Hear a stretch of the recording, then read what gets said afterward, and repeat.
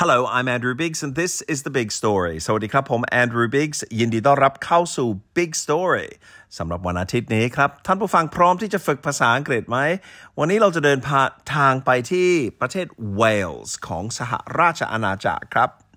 ไปที่หมู่บ้านเล็กๆ ครับ ที่มีปัญหาเมื่อสัปดาห์ที่แล้ว อ่านแล้วขำนิดๆหน่อยครับ มันเกี่ยวข้องกับฝูงแกะ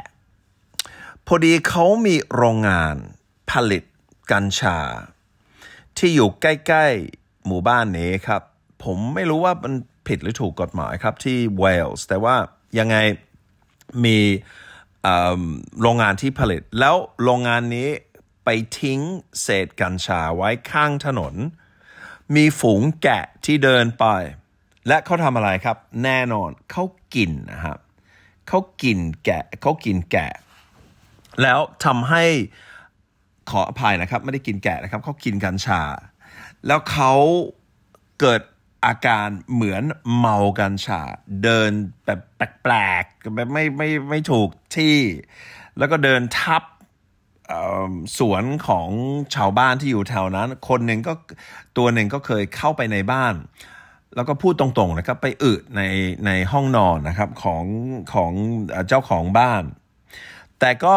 มีโศกนาฏกรรมเกิดขึ้นด้วยเนื่องจากว่าตัวหนึ่งก็ถูกฆ่าหลังจากที่เดินเข้าบนถนน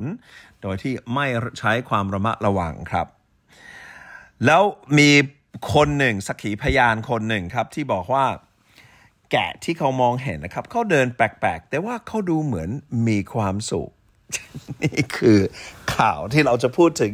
ในเบรกที่ 2 ของเรานะครับ ใน Big Story วันนี้ครับ แต่ว่า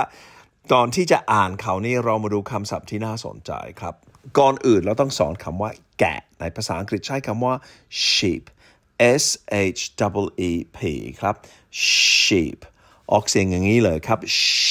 sheep S H ในภาษาอังกฤษก็เป็นเสียงนิ่มนวลก็ลากเสียงได้ นิ่มกว่าชอช้างครับ sheep อย่างนี้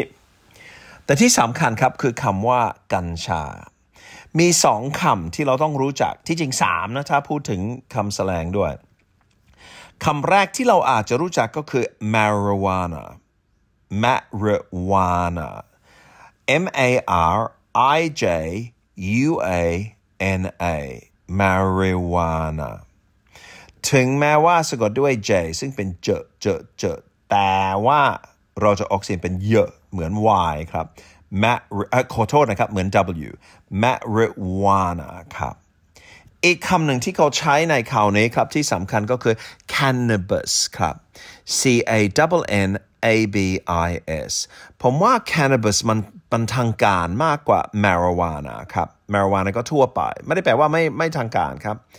เพียงแต่ว่า cannabis ก็คือแบบทางการมากกว่านี้ แต่คำศัพท์ที่เราใช้ที่แบบถามที่ที่ที่อาจจะเป็นเรื่องแบบพูดแบบภาษาปากหรืออะไรอย่างนี้ครับ ก็คือ weed W W E D ครับ weed ที่แปลว่าวัชพืช ก็แปลว่ากัญชาเหมือนกัน รู้สึกในข่าวนี้ครับ เขาจะพูดถึงทั้ง 3 เลยครับ ก็คือ marijuana cannabis และ weed ถ้าเราสูบกัญชา จะเกิดอาการมึนเมา เมากัญชา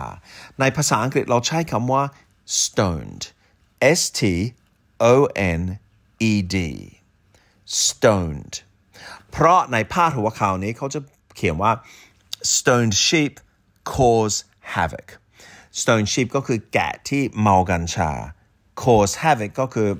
ไปเดินอารวาสครับทำให้เกิดความเสียหาย ก็คือ cause havoc C A U S E แล้วก็ havoc H A V O C แต่มีอีกคำหนึ่งที่เขาใช้นะครับ นอกจากคำว่า stoned อีกคำหนึ่งที่เราชอบใช้ในความหมายว่าเมากัญชา ก็คือ high ใช่แล้วครับ high ที่แปลว่าสูง H I G H ดังนั้นในข่าวนี้เราต้องฟังคำศัพท์ว่า cannabis แล้วก็ marijuana แล้วก็ weed ส่วนเมากัญชาก็คือ stoned และ high ครับ ในประโยคแรกนะครับข่าวอย่างนี้ครับ ก็ไป rampage ครับ เป็นคำที่น่าสนใจนะครับ rampage ก็สามารถที่จะออกเสียงเป็น rampage หรือ rampage ก็ได้ครับ ก็คือทำอะไรอารวาสครับ R A M P A G E ออกเสียงว่า rampage or rampage ก็ได้ครับ เขาได้เอากัญชานี้ก็ถูกทิ้งข้างๆถนนทิ้งทีนี้ก็แปลใช้คำว่า dump ครับความความจริงนะภาษาอังกฤษก็มีหลายคำครับ แต่สำหรับข่าวนี้เขาใช้คำว่า dump D U M P ครับ marijuana dumped on the side of the road ก็แปลว่ากัญชาซึ่งถูกทิ้งข้างๆถนนครับ on the side of the road ครับ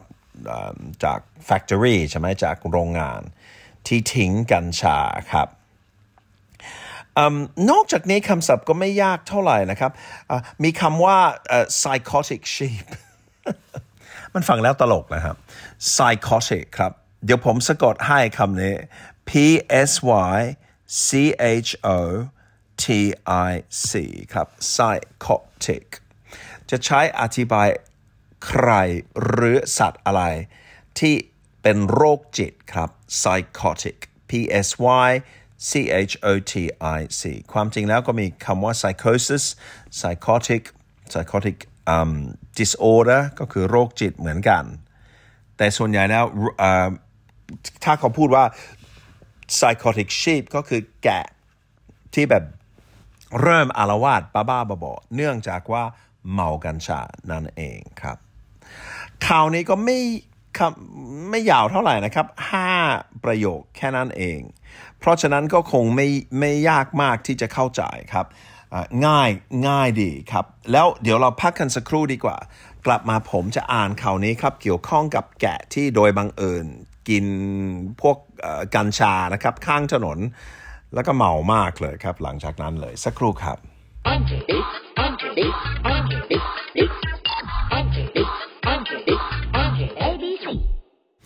Sheep high on cannabis went on a rampage in a Welsh village after eating marijuana dumped on the side of the road by a factory. Local politician L- L- Ian Richard said the out of control animals were walking on people's gardens and one had even entered a house and caused a mess in the bedroom.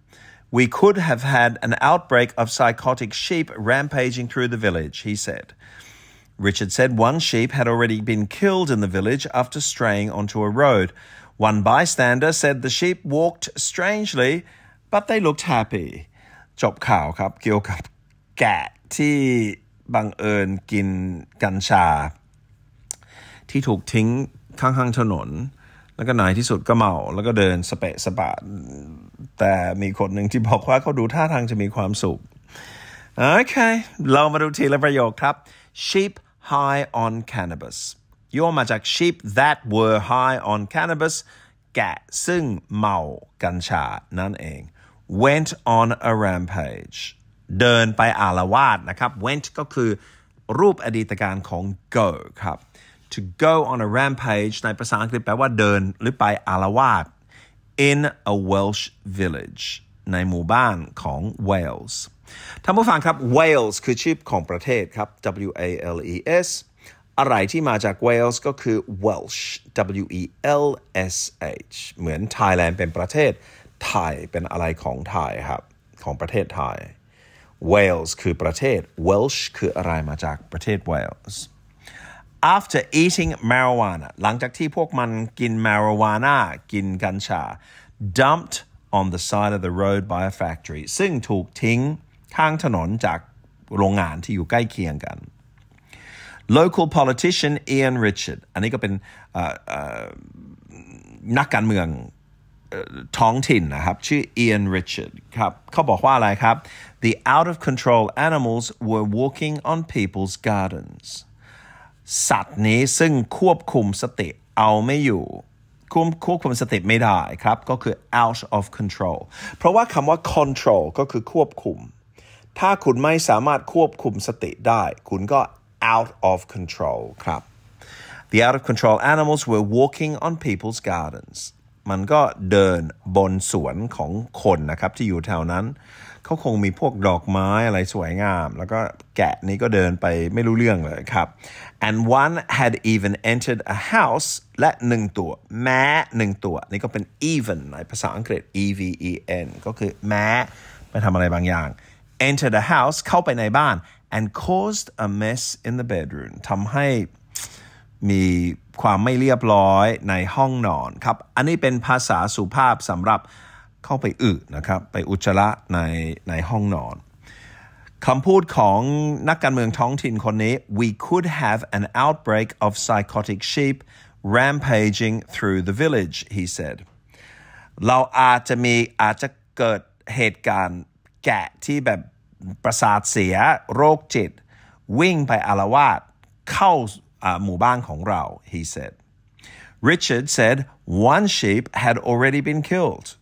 คนนี้ชื่อ Richard เขาบอกว่าหนึ่งตัวนะแกะหนึ่งตัวก็ถูกฆ่าแล้ว in the village ในหมู่บ้าน after straying onto a road หลังจากที่เดินเข้าไปเข้าบนถนนนะครับ stray ในภาษาอังกฤษนะครับ ก็คือเดินแบบเข้าไปในพื้นที่ หรือหลงทางก็ได้ครับ ที่ไม่ควรจะเข้าอย่างนี้ ก็คือ stray into the road or stray onto the road ก็คือเดินเข้าไปบนถนน one bystander said อ่าคำว่า bystander แปลว่าอะไร เคยได้ยินไหมครับ b y s t a n d e r อ่าเป็นเป็นสักขีพยานหรือคนที่แบบยืนดู ผู้ยืนดู ก็เป็น bystander ครับ คนที่ stand by one bystander said เขาบอกว่าอะไรครับ the sheep walked strangely แกะพวกนี้เดินแปลกๆครับ the sheep walked strangely strange แปลว่าแปลกครับ ถ้าเราเติม ly ตอนท้ายมันแปลว่า อย่างแปลกๆ อย่างแปลกๆ ที่ อย่างไม่ไม่ อย่างผิดปกติ อย่างไม่ปกติ walked ต้องมี ed ตอนท้าย เพราะเรากำลังพูดถึงสิ่งที่เกิดขึ้นในอดีต one bystander said the sheep walked strangely but แต่ว่า they looked happy พวกเขาดูเหมือนมีความสุข ผมว่าผู้สื่อข่าวกำลังเขียนแบบเสียดสีด้วยครับ มันตลกตลก เพราะว่าเขาบอกว่าสักขีพยานบอกว่ามีคนเห็นแกะ ซึ่งเขาเดินแปลกๆ แต่ว่าดูเหมือนมีความสุข เราจะรู้ได้ยังไงนะครับว่าแกะมีความสุขหรือไม่ โอเค เรามีเวลาที่ที่จะอ่านอีกครั้งหนึ่ง Are you ready? Let's go. Sheep high on cannabis went on a rampage in a Welsh village after eating marijuana dumped on the side of the road by a factory. Local politician Ian Richard said the out of control animals were walking on people's gardens, and one had even entered a house and caused a mess in the bedroom. We could have an outbreak of psychotic sheep rampaging through the village, he said. Richard said one sheep had already been killed in the village after straying onto a road. One bystander said the sheep walked strangely, but they looked happy. จบข่าวเกี่ยวกับแกะที่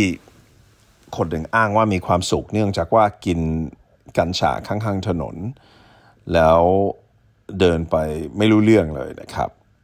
ข้อมูลทั้งหมดนี้อยู่ที่เว็บไซต์ของผมครับ andrewbiggs.com ครับ a n d r e w b i g g s com ครับ ไปที่ andrewbiggs.com แล้วลงไปข้างล่างจะได้เห็น big story ก็คลิกที่โน่นเลยครับ คุณจะได้ยิน แล้วก็อ่านข่าวนี้ครับ ย้อนหลังครับ หลังจากที่เราออกอากาศ สำหรับวันนี้ก็หมดเวลาแล้วครับ แต่ไม่เป็นไรครับ เราจะกลับมาอีกครั้งหนึ่งเวลาเดิมครับ วันเสาร์และวันอาทิตย์กับเวลานี้กับรายการ Big Story ครับสำหรับวันนี้ have a wonderful wonderful weekend what's left of it and we will see you next week on the Big Story goodbye